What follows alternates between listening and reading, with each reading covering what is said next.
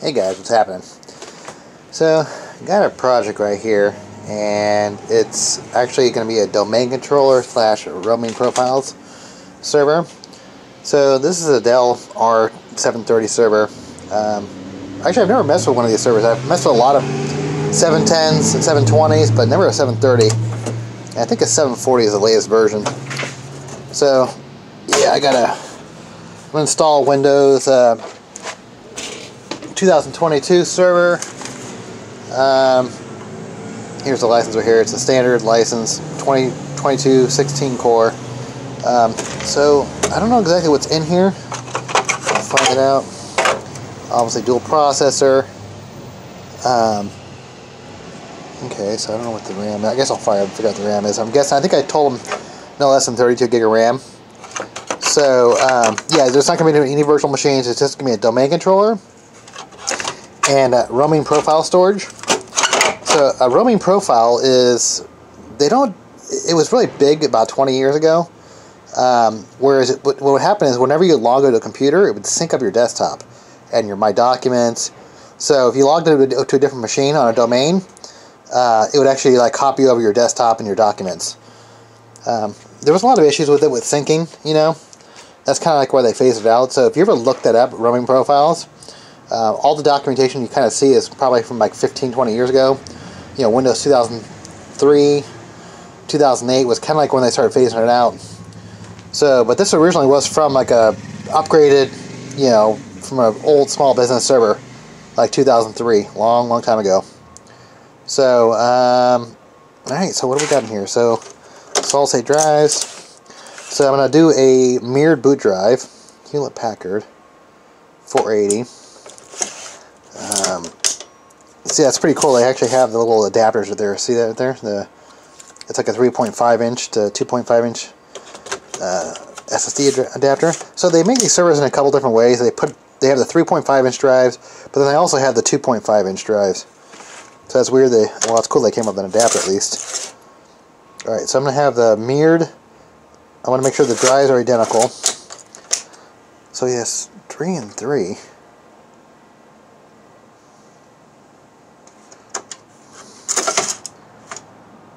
Just want to make sure they're all the same. Because typically when you when you I mean when you mirror drive, um, you typically want it to be the same same uh, manufacturer, same size. Because when you have a failure, okay, so I got I got to rearrange these in, in the right order. Yeah, so you got three. So you got three that are the same. Okay. So I'd make this obviously the RAID RAID one for the boot drive, Windows drive, and the storage drive would be over here. I'm guessing maybe he wants a hot spare. I don't know, I'll figure it out though. Alright, well, I'm, I'm to come up with the solution, I'll come back, but pretty cool server. These things are nice though. I mean, you have like the redundant fans. Um, yeah, I built a lot of phone systems, different kind of servers, email servers, spam servers, um, predictive dialers. Um, on the R720s and 710s. I mean, they basically look exactly the same. It's just a newer version of the same server. So, um, you know, this is more like the kind of like mid-level server. You have redundant power supplies. It's bigger, a little bit bigger. Four NICs. So this is obviously a, good machine for virtualization. So actually, my other a lot of the other servers I have are running VMware and Hyper-V. Um, so you get the half height PCI expansion cards over here. Then you have your DRAC remote access controller. I don't know if it actually has an enterprise version yet, uh, but usually there would be add-on cards somewhere in here. And then uh, RAID controller. Hopefully it actually has a hardware-based RAID controller. So you can actually, there's two different kinds of RAID controllers. You have software-based and hardware-based. And you want hardware-based. Hardware-based is a lot, a lot faster. Hardware-based basically has its own processor, its own memory, we typically would have some kind of battery module around here somewhere to back up the cache. Um, I'm guessing this is it because it looks like this is feeding back to the to the SATA backplane here. So yeah, what's funny is I know my channel is kind of very random, and but it's more like a tech channel. And what's funny here is that all my best videos are like the, the lowest tech videos I make are my best videos on YouTube. like when I do these higher tech videos, like I get no views on them. Um, okay, so Windows Server 2022. That's kind of interesting, these 8-pin um, Molex connectors on the back here. So I wonder if that is if you need to actually have like a PCI expansion card with uh, more, needs more power, that has like a, like, like a video card, you know, you could actually run extra wires to the video card and it would actually be pulling power from this this this backplane here. Um, as you can see, it's not like your typical PCI Express back backplane here. Well, it is in the front. I mean, it looks like a PCI uh, 8X. Um, these are 16s, all 16 slots. Yeah, I guess what I'm guessing is you can get like an uh, like a like a like a little wiring harness that comes off and gives you extra power for the bus. So I noticed the DB2, so I'm guessing that means database 2. So maybe it was like a redundant database server, backup database. Yeah, any sort of like when you do like a large scale installation, like a, like a larger office, and you're running like SQL Server or Oracle database or Oracle or it could be MySQL, it could be a lot of different things. You'd actually lots of times would have want to have a hot spare or a real time failover. It really depends on the size of the organization, but uh, all right, so I'm gonna get this thing fired up. Well, it's fired up. BIOS is like one of those crazy BIOSes, like with the lifecycle controller. Lots of times I disable the lifecycle controller because it creates a lot of stress when it takes an extra two or three minutes for the thing to boot up.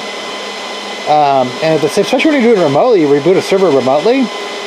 It's like, man, the last thing you're just stressing because you don't know if it's going to come back up or not. And then you have to wait an extra two or three minutes because of the life, cycle controller. Alright, so here's the BIOS. I'm going to go in and check RAID, see what the settings are. Um, Alright, so memory settings, 32 gig. Alright, make sure we're on embedded, yeah, we're using RAID. Alright, so I'm to go back in the RAID controller and set up the RAID arrays. Alright, so this particular disk, I said I have three of the smaller drives and then three of the bigger drives. So I'm going to do RAID 1 with a hot spare and then RAID 1 with a hot spare. So the store drive will have a hot spare and the boot drive will have a hot spare. So hopefully it will always be in a redundant configuration. Now this server is pretty loud. So I wonder if there's a way I can do power management to lower the fans down. Um, yeah, it feels like it's in full blast, full 100% mode. Even though I don't have any warnings on the front here. So sometimes if you open the case up or something detects like some kind of warning, uh, it will go into full fan. But so I have two RAID arrays created, the boot OS drive and the data drive. Uh, so now I got to go back and uh, apply hot spares. So there's two different kinds of hot spares you can do. You can do a global hot spare. And a global hot spare will actually, regardless of what array it is, it will actually apply to whatever array you have. But uh, for me, since I actually already have a hot spare for the each array, I'm going to assign as a dedicated hot, hot spare here. This is a painfully slow BIOS. God, I would hate to have trouble on this thing. Um, just, it, it, you know, when you're, you're stressing because your server's down or whatever, and you're waiting, every time you have to reboot the server, it takes minutes just to deal with all the, the BIOS headache. Alright, so finally got to Windows installation. So, master boot record, uh, I'm not using UEFI. That was the default while I was on here. Alright, so yeah, it took me forever just to get to this point. Just because the BIOS takes so long to reboot, man. It's it's crazy. Tell me to fix that, man. Alright, standard edition, evaluation, desktop experience. Um, desktop experience means that it's going to actually install the, the, the GUI, the graphical environment. Alright, custom, alright, small one. That's going to be the boot. Alright. Alright, so now that I have Windows installed, I'm going to go back and do the BIOS update, RAID controller firmware, network card firmware, lifecycle controller firmware, uh, and also the BCM, the fan controller firmware. I think it's probably going to take about an hour just to do all the firmware updates on the devices here. Right, the RAID arrays are currently building, you can see. Hot spare, hot spare, RAID 1, RAID 1. Alright, so server is done. Ready to install in a custom environment. It's not overheating, 62 degrees Fahrenheit. Um, so let me show you how I turned on the fans. You can obviously hear it's a lot quieter now. So you first have to program, it kind of sucks, you can't just do it right in the BIOS. You have to actually first program your DRAC card, then log into the DRAC remote access card. Uh, and then you got to log into uh, fans or hardware, then fans, and then you need to go into setup, and you hit minimum power performance, fan speed low here. Um, but this this will automatically adjust. I, I, don't know why it was such a high. Well, I guess let me demonstrate real fast.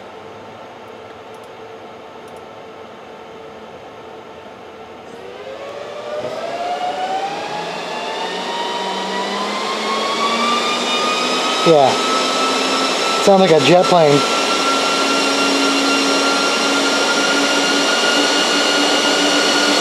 Just curious to see how much the temperature is going to go down. Okay, but, okay, so, yeah, this is going to be in a, a cooled uh, server room, so I don't need to actually have,